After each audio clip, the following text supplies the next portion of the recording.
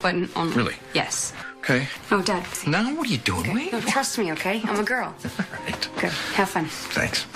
All set for your big date? No, I mean, I'm just going out with Sheila. What's this, the third time? We're just good friends. Dad, I know. Have a good time, and don't be out too late.